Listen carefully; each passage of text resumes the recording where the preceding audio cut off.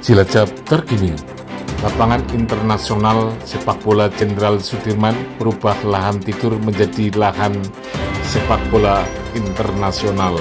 Eksklusif program Jaga Indonesia Pelaku Melaku Bangun Desa.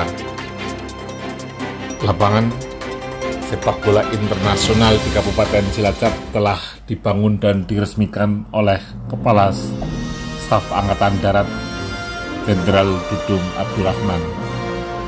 Peresmian ini dihadiri oleh petinggi TNI AD dan Bupati Cilacap, pejabat di lingkungan pemerintah Kabupaten Cilacap. Lapangan yang berstaraf internasional adalah bekas ex batalion yang tadinya menjadikan wajah Kabupaten Cilacap kumuh sekarang disulap menjadi wajah yang inovatif dan modern lapangan sepak bola Jenderal Sudirman. Apa kata Kepala Dinas Perkimta Kabupaten Cilacap dan juga sebagai Presiden PSCS Kabupaten Cilacap? Eksklusif Jurnal Media. Telah meresmikan stadion arsitek terbaik di Indonesia dan bertaraf internasional ini bersama dengan uh, Presiden PSCS dan uh, PSSI Kabupaten Cilacap. Selamat Pak. Sehat. Pak, selamat kemarin sudah peresmian oleh langsung oleh orang nomor dua TNI Pak di Republik ini Pak. Gimana Pak uh, rasa yang kemarin terjadi Pak? Ya, yang pertama syukur alhamdulillah ya. Beliau berbagi di Cilacap ya, meresmikan lapangan sepak bola TNI Angkatan Darat Desa Sudirman. Eh, ini lapangan bertaraf internasional ya. Mudah-mudahan eh, dengan adanya lapangan ini ya, masyarakat Cilacap semakin bermotivasi ya untuk bisa apa, eh, dengan sepak bolanya ya dari bisa tinggi sampai ke eh, apa seniornya untuk PSS ini ada andil besar gitu. kemudian eh, setelah nanti kami juga apa kita sertifikasi FIFA ya mudah-mudahan eh, timnas bisa ke sini Liga 1 bisa ke sini ya kalau akan menjadikan eh, masyarakat Cilacap ya, semakin termotivasi Ya, eh, Pak, terobosan-terobosan Pak, eh, Pak Bambang bisa menciptakan sebuah eh, lapangan yang merupakan dari kebanggaan masyarakat Kabupaten Cilacap. Ini terobosan awalnya seperti apa merubah lahan tidur menjadi lahan produktif luar biasa internasional Pak. Ya, ini eh, lapangan Es Batalion ini adalah eh, kawasan kumuh tadi Iya. ya, kawasan kumuh yang ada di tengah kota.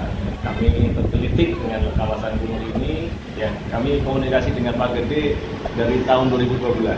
Ya, Pak Gede itu siapa Pak? Gede itu ya yang usaha dan di yang di Indonesia lah. Oke, siap, siap, siap, siap, siap. Eh, terus habis itu uh, TNI sudah memberikan restu dan kemarin dalam sambutan eh, Pak Kasat mengatakan laksanakan Pak. Bahasa laksanakan ini adalah terwujudnya lapangan sepak bola ini Pak. Ke depan seperti apa? Eh, mungkin eh, Pak Bupati juga ingin eh, PSS naik kasta menjadi Liga 1 Pak. Terobosan terbaru kalau PSS juga Pak dengan ada lapangan ini. Ya. Eh, salah satunya tadi teleskoping wanita kemarin teleskoping untuk untuk anak-anak dia juga ada Oke. Ya. Juga salah satu ya besok kami juga di sini ada ada kompetisi Kompetisi, ya, ya. Bupati Championship ya, Oke. tahun 2002 Bupati Cilacap ya, Championship 2022 Nah, memperingati hari 17 Agustus juga ini Pak. ya Isi kemerdekaan juga ya. betul eh, Oke. dari waktu dekat ini juga kami ada trofeo ya Oke. kita Bupati Cup ya di situ isinya Liga 2 Insya Allah ya. Ya. Pak, saya ke masyarakat Kabupaten Cilacap berkaitan dengan uh, lapangan Pasti Ada yang, ya, yang terbaik di Indonesia dan mungkin kalau ingin sepak bola caranya seperti apa, sewanya seperti apa, dan seterusnya Pak. Sehingga keamanan, kenyamanan, dan keindahan rumput bisa terjaga Pak. Silakan. Oke, terima kasih. Ini masyarakat Cilacap harus senang, ya, harus bangga, ya, punya punya lapangan yang bertaraf internasional. Ya. Ini salah uh, satunya uh, di Jawa Tengah, ya, DIY mungkin salah satu baru satu ini yang ada di, di Jawa Tengah DIY. Ya. Mudah-mudahan ini bisa dimanfaatkan, ya, dengan syarat, ya, dengan syarat ini lapangan artificial, ya.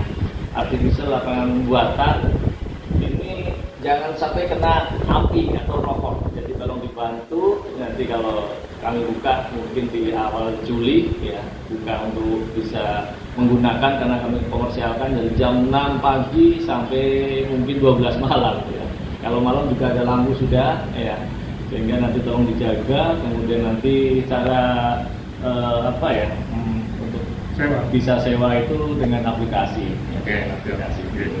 tolong dimanfaatkan dengan baik ya masyarakat Cilacap anak mudanya ayo ya beramai-ramai kita manfaatkan sepak bola bertaraf internasional Cilacap Oke, saya datang melaporkan dari lapangan sepak bola Jenderal Sudirman kebanggaan masyarakat Kabupaten Cilacap, Jawa Tengah dan Indonesia.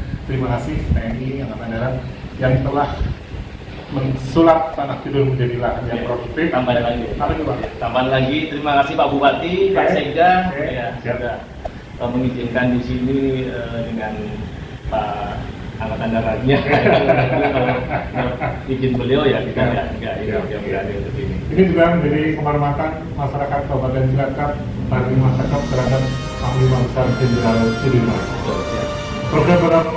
Menurut pelaksana tugas di Superkinta Kabupaten Cilacap Bambang Tujiatno dan juga sebagai Presiden PSCS Cilacap mengatakan akan diagendakan event internasional dan nasional di Kabupaten Cilacap di lapangan Jenderal Sudirman. Bupati Cup akan menjadi event yang pertama untuk pertandingan di lapangan Jenderal Sudirman. Like, subscribe, share, dan komen.